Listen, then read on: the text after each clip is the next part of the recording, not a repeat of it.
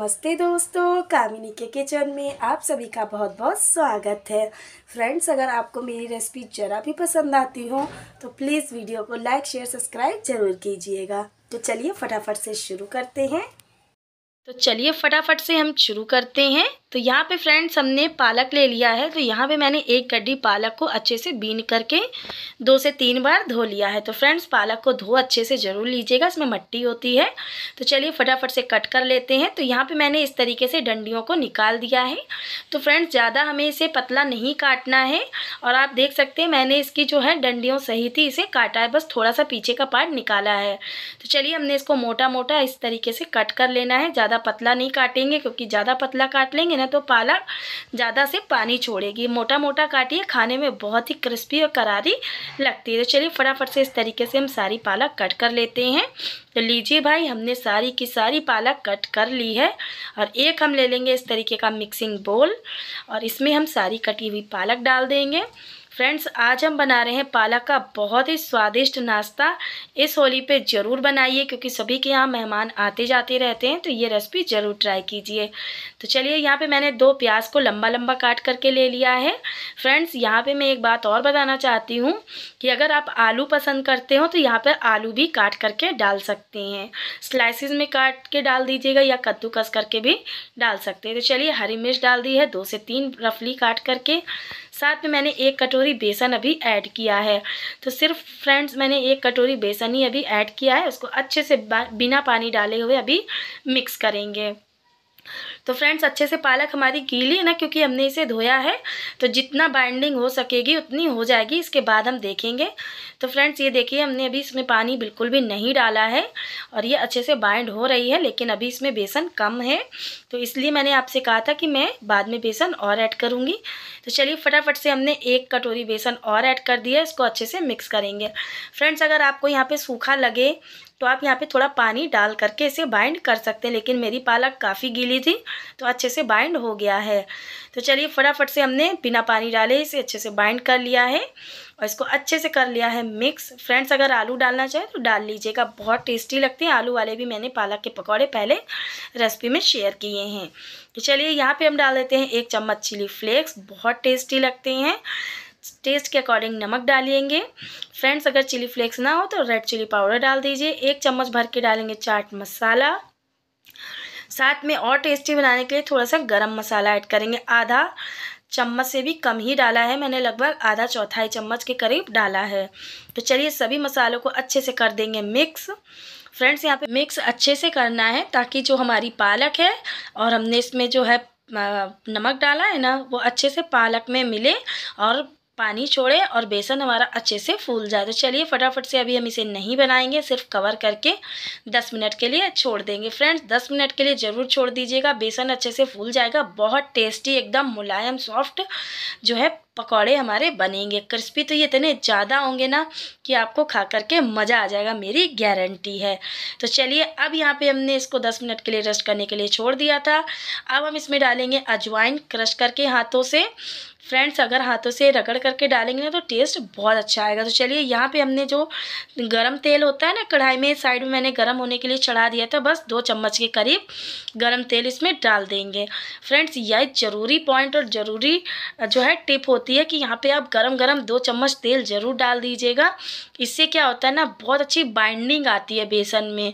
अंदर से सॉफ्ट बनेंगे और एकदम करारे क्रिस्पी ये बन करके तैयार होते हैं। तेल डालने का बस कारण यही है कि बहुत क्रिस्पी और खरे खरे ये बन करके तैयार होते हैं। तो चलिए, तेल हमारा अच्छे से गर्म हो गया है। तो तेल को ना ज़्यादा हाई करना है और लो तो बिल्कुल नहीं करना है फ्रेंड्स हाई पे ही, जो है मीडियम हाई पे ही आप इन्हें सेकिएगा।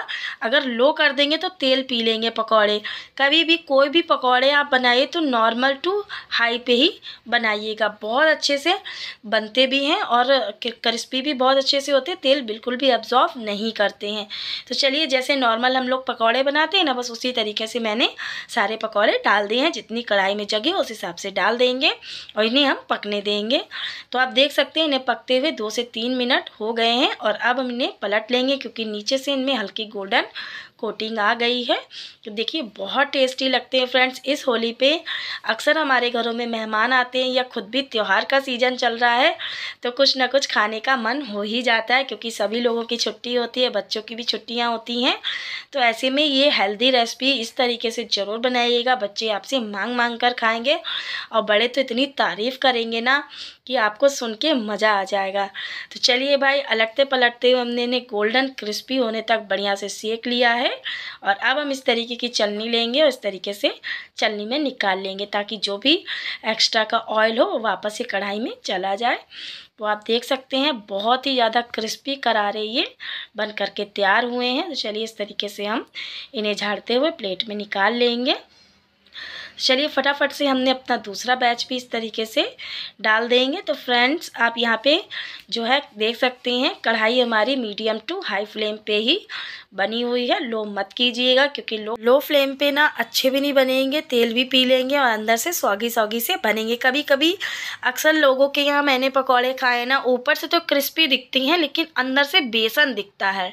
बेसन अंदर से बिल्कुल कच्चा सा या फिर बेसन अंदर से जब कच्चा सा दिखता है ना तो बिल्कुल भी पकौड़े टेस्टी भी नहीं बनते, खाने में बहुत ख़राब लगते हैं। तो फ्रेंड्स वो चीज़ नहीं होनी चाहिए।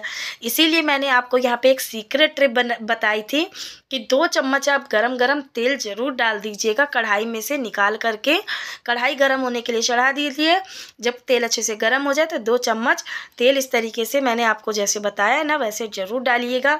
एकदम क्रिस्पी अंदर तक बहुत अच्छे से पके हुए ये पकौड़े बन करके तैयार होते हैं। तो चलिए फटाफट से हमारा दूसरा बैच भी सीख करके तैयार हो गया इस तरीके से हम निकाल लेंगे। यकीन मानिए फ्रेंड्स, एक बार आप मेरे इस तरीके से ज़रूर बनाइए, आप भी क्या याद करेंगे। जब आप इस तरीके से बनाएँगे और खाएँगे ना, आपको एक बार मेरी याद ज़रूर आएगी। तो चलिए भाई, फटाफट से हमने दो बैच बना करके तैयार कर लिए हैं। थोड़ा सा बेसन बच गया है तो सारे ही मैं सेक लेती हूँ। तो चलिए फटाफट से हमने सबको डाल दिया है। इन्हें भी हम अलटते पलटते हुए बढ़िया गोल्डन और क्रिस्पी होने तक सेक लेंगे। तो चलिए भाई, हमारा तीसरा बैच भी बन करके बिल्कुल तैयार है। बहुत टेस्टी बने थे फ्रेंड्स सभी को बहुत पसंद आए।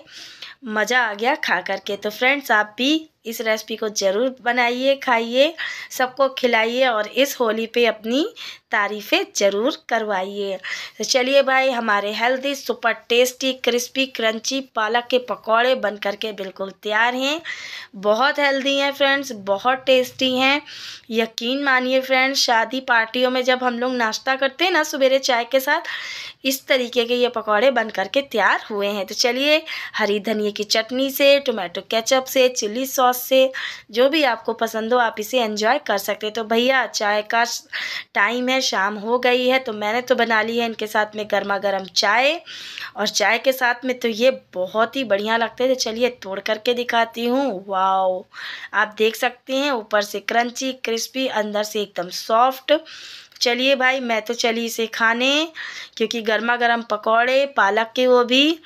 हम्म, मज़ा आ गया फ्रेंड्स तो फ्रेंड्स ज़रूर एक बार मेरे इस तरीके से आप ज़रूर बनाइएगा। यकीन मानिए फ्रेंड्स, सभी आपकी तारीफ़ ज़रूर करेंगे। तो फ्रेंड्स, अगर आपको मेरी मेहनत, मेरी रेसिपी ज़रा भी पसंद आ रही हो, ज़रा भी आपको लग रहा हो कि मेरी मेहनत बिल्कुल आपके कुछ काम आ सकती है तो प्लीज़ मुझे सपोर्ट ज़रूर कीजिएगा। चैनल को लाइक, शेयर, सब्सक्राइब ज़रूर कीजिएगा। सो फ्रेंड्स, मिलते हैं इसी तरीके के नए वीडियो में। तब तक के लिए जय हिंद, जय भारत, टेक केयर बाय